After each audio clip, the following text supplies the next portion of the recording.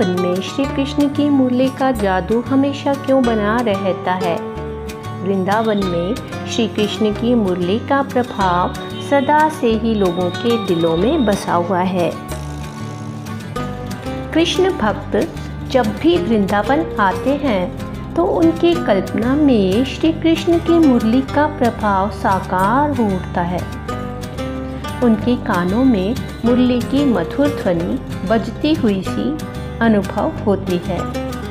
उन्हें ऐसा महसूस होता है कि कहीं से वो आ जाएँगे और वातावरण का सारा सुर जो है बांसुरी के संगीत से गूंज उठेगा।